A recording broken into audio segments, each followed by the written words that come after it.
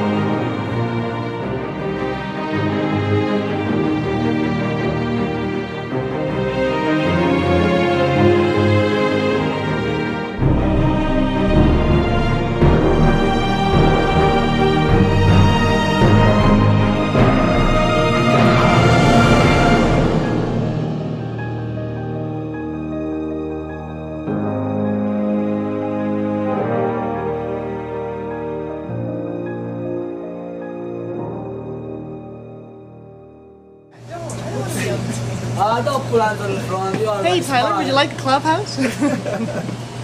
Hardest working individuals in all of Oxford Automotive. Well, I figured I'd better get it on film because nobody else would believe it. I wish you all the best, and I want to thank you for the years that we spent together. Hey, uh, it was great working Oxford. It was great working with all you guys. Uh, good luck in the future, and uh, hopefully uh, we'll see you around, okay? So long, everybody. It's been a slice. Bye. Nice working with you, Tyler. Bye. Have a nice trip. Hardest workers in the place. Been a slice. Yep, see ya. Working the hair right off. We're going to lose all this nice, wonderful atmosphere that we have here and all these great people that we were working with. I wish them all the best because they're the greatest bunch of people I ever worked with in my life. And I hope the very best for them all. Take care, guys. Well, best luck to everybody on their new jobs. Same.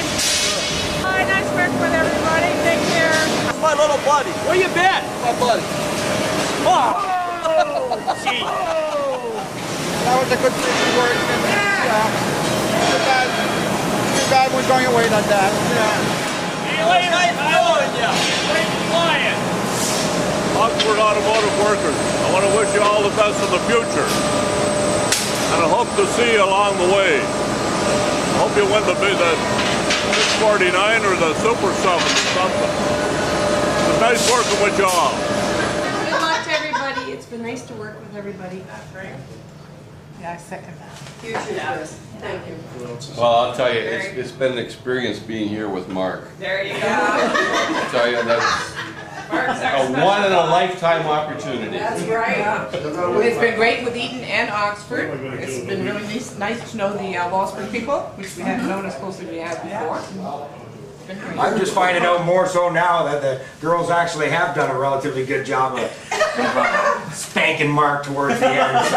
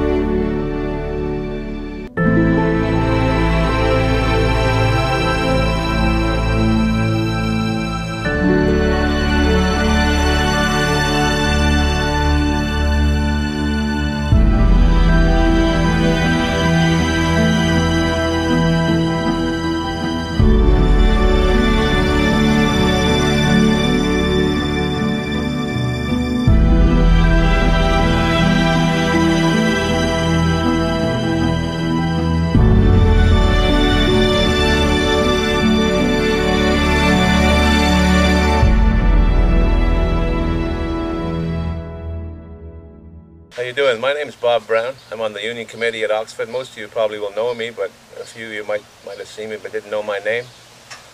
I want to first start to say that I, I never thought I'd be sitting here in my own house with Tyler doing this, because I'm like you guys. I never thought the plant would ever close. But just good luck and get on with your lives and don't don't let it get you down. Until we meet again, God bless and Godspeed and good luck. There have been several temporary extensions here. In March, 80 workers were recalled to meet a temporary surge in demand for automotive leaf springs. This time, though, the company says there will be no last minute lifeline. This factory will close Friday. I spent half of my life here and now I'm out the door, no job. People who live here say the impact on Wallaceburg's economy is already visible.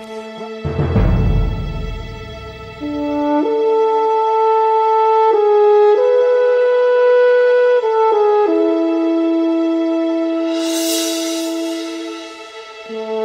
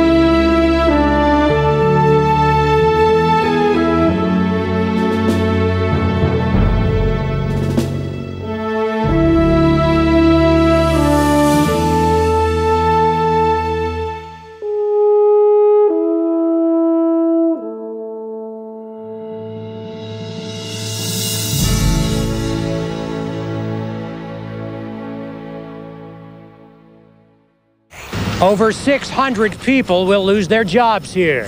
The final shift change at Oxford Automotive in Wallaceburg. The sadness, eh? People are losing their job. Leaf Springs, where cars and trucks were produced here. The company says it had to close this plant because demand for leaf springs is sagging. Today, automakers are using more coil springs.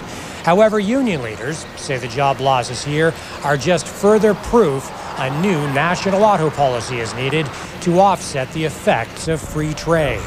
Life after Oxford. Houses will be up for sale. Yeah. A lot of Uh, people out of work. Uh, see you later. Have a good life, and everybody moves on, right? President of Local 251. Uh, maybe you could just say a few things to, uh, to the people here at Oxford that uh, you've known over all these years. Bill, I know it's a pretty emotional day for a lot of people. Sad day for Wallaceburg. It is a sad day for Wallsburg, but it's been a pleasure uh, representing uh, people here in Oxford. Uh, we've been through a lot of difficult times, and I, I'd say these people uh, worked through this most difficult time uh, uh, quite courageously. And uh, I, I, going to miss most is friendships and relationships with these people, although some will continue. And as a course in nature, some tend to fade away, but the memories will still be there.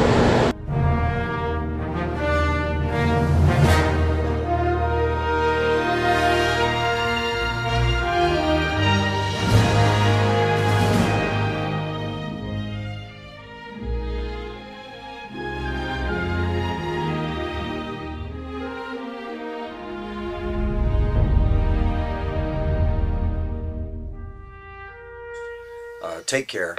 God bless. Bye-bye. My little buddy. Where you been? My buddy. Oh! oh Wave to everybody, Rose. Yeah, bye.